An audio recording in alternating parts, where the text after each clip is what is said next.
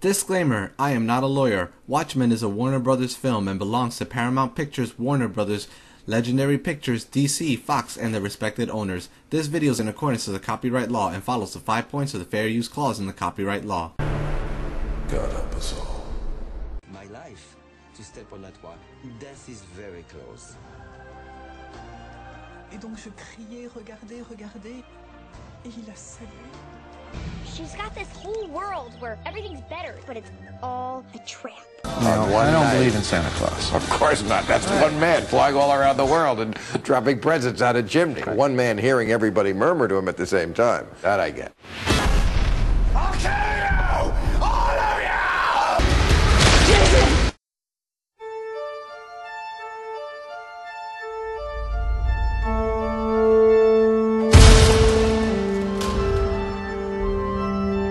Just a matter of time, I suppose.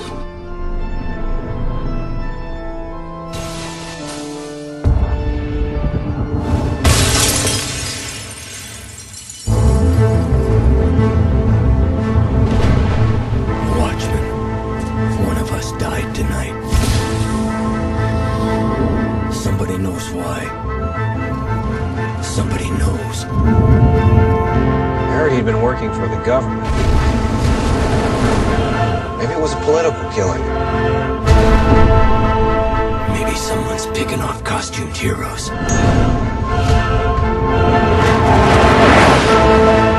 John thinks that there's going to be nuclear war. What if that's why someone wants us out of the way? So we can't do anything to stop it.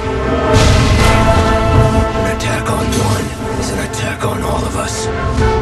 Watchmen are over. What do you suggest we do about it? Retribution. We can save this world.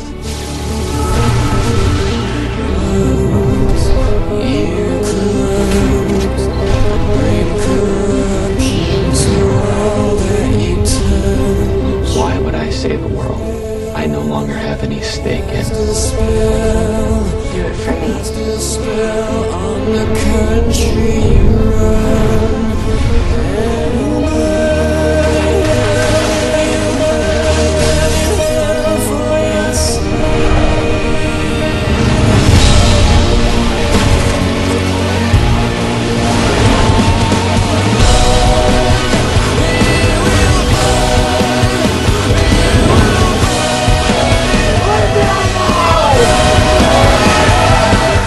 will look up and shout, Save us.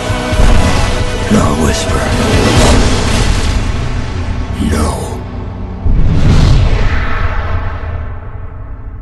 Hey everybody and welcome to the conclusion of Spidey's Movie Madness. The week-long event of movie reviews counting down to review of the highly anticipated Watchmen. So let's finish this thing off with the last movie in line, Watchmen. So we're finally here, the review of Watchmen. Alan Moore's unfilmable story has finally been made into a movie, but Watchmen still stands as a standalone novel that cannot be made into a well-done movie. In the same regards, Watchmen can't really be reviewed.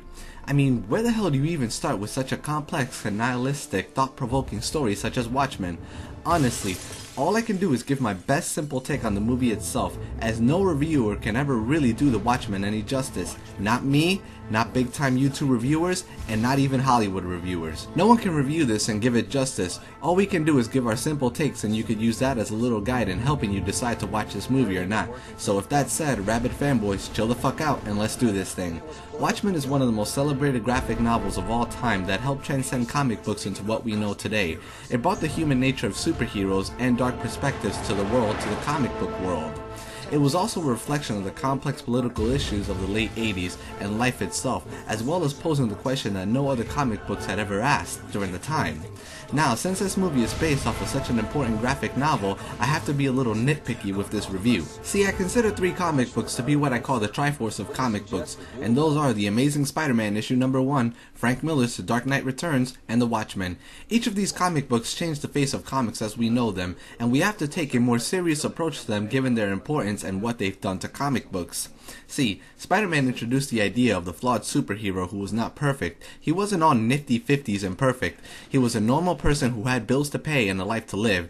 He was, in essence, an extension of the average person. The Dark Knight Returns brought Batman's character into a more darker and serious nature as well as asking the question, what if Batman got old? Watchmen took that idea and extended it as well as asking many other questions pertaining to life and superheroes. If the Watchmen watch over us, then who's watching over the Watchmen and who are they? Now I'm going through all of this so people who aren't familiar with the Watchmen can have a nice general idea of it. I know that this little short history lesson does Watchmen no justice whatsoever, and the gravity of it is much, much more bigger than I've explained it, but take note that I'm trying to condense so much with so little time. In the movie aspect, Watchmen tells the story of the death of a former costume superhero by the name of the Comedian. Another member of the Watchmen, Rorschach, investigates his death and brings the other former members together as the mystery unravels into something much bigger in an alternative 1985 where Nixon is president and the world is in the brink of nuclear annihilation. And that's a basic synopsis of the movie. Now, while this movie isn't bad, it isn't excellent, it isn't the comic book on the silver screen, it doesn't do the novel justice, and it doesn't meet its hype, but it isn't bad either. See, one of the main problems with this film was that it was hyped to be the second coming of the Dark Knight, or this year's Dark Knight, and that just wasn't the case by a long shot.